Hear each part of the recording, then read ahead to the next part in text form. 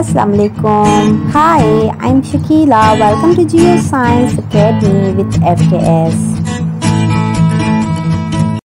Lecture number two में हम जानेंगे protein carbohydrate fats and oils के बारे में अब प्रोटीन जो है सबसे पहले आपको पता होना चाहिए कि कौन कौन सी चीज़ों में से प्रोटीन मिलती है हमें तो प्रोटीन हमें मिलती है meat eggs fish and beans इस तरह की चीज़ों में से हमें प्रोटीन मिलती है।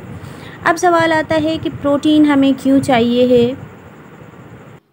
तो प्रोटीन हमें चाहिए क्यों होती है? क्योंकि जो प्रोटीन होती है, हमारी हेल्प आउट करती है, हमारी जो बॉडी के अंदर मसल्स होती हैं, उसको बिल्डअप करने में। और साथ साथ प्रोटीन जो है हमारी ग्रोथ करने में भी मदद करती है। याद रखिएगा कि प्रोटीन हमारी ग्रोथ करने में भी मदद करती है साथ साथ हमारी बॉडी की जो मसल्स होती हैं उसे भी बिल्डअप करती हैं। तो इस वजह से ही प्रोटीन को जो है कहा जाता है, protein are called body building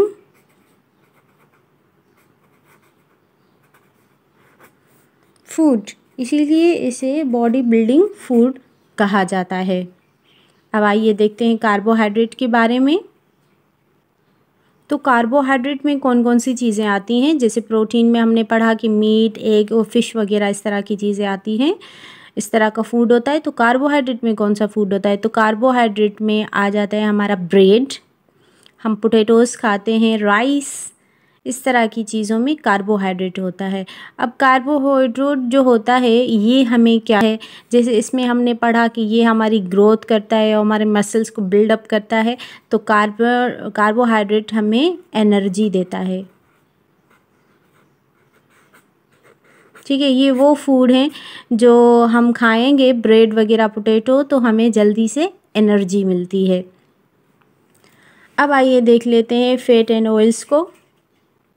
अब जो फैट एंड ऑयल्स हैं, ये भी हमें क्या देता है? ये भी हमें एनर्जी देते हैं। अब आप सोच रहे होंगे, इसमें भी एनर्जी है, इसमें भी एनर्जी है तो डिफरेंस क्या है? तो आइए देखते हैं। तो जो फैट्स और ऑयल्स होते हैं, दोनों ही चीज़ें हमें एनर्जी देती हैं। लेकिन हम क्या कर सकते हैं कि ये जो है फैट एंड ऑयल्स स्टोर भी हमारी बॉडी में हो सकते हैं। अब ये कौन सी चीज़ों में से मिलता है? तो ये होता है milk butter cheese and egg वगैरह। ये सारी चीज़ें क्या करती हैं? इन सब में फ़ैट मौजूद होता है। ठीक है मिल्क में बटर में चीज़ में एग में आ, क्या मौजूद होता है? फ़ैट मौजूद होता है। ये जो हैं थोड़ी ऑयली सी चीज़ें होती हैं। इनमें इसी वजह से ये फ़ैट स्टोर करती हैं। और जो कार्बोहाइड्रेट होता है एंड फैट्स जो होते हैं, जिन खानों में यानी कि कार्बोहाइड्रेट है और फैट ये दोनों चीज़ें ज़्यादा मकदार में है रिच हैं तो उन्हें एनर्जी गिविंग फ़ूड कहा जाता है। ठीक है, ये दोनों चीज़ें मौजूद होंगी और जल्दी से हमें एनर्जी मिलेगी तो उन्हें इस वजह से एनर्जी गिविंग फ़ूड कहा जाता है।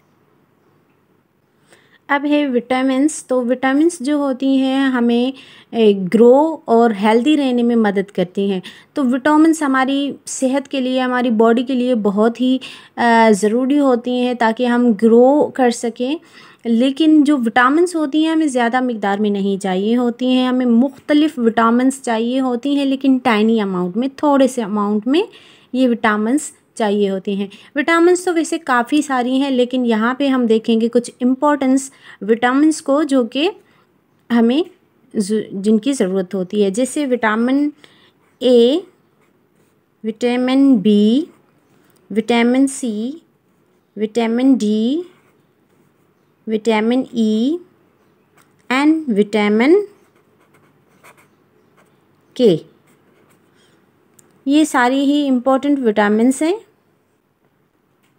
अब जो विटामिन ए होती है, ये हमें मिलती है कैरेट, मिल्क और या फिर जो ग्रीन वेजिटेबल्स होती हैं मुख्तलिफ़ इन में से हमें विटामिन ए मिलती है और विटामिन ए हमारी क्या करती है कि ये हमारी स्किन और हमारी बोन्स को जो है हेल्दी रखने में मदद करती है और साथ ये याद रखिएगा, कैल्शियम भी मिनरली ही है।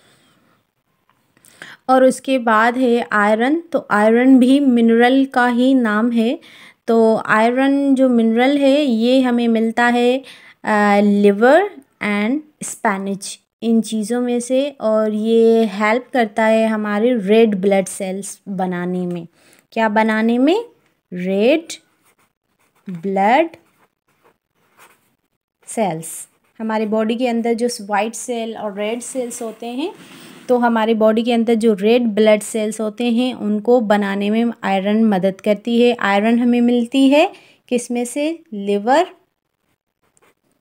और इसके अलावा स्पैनिच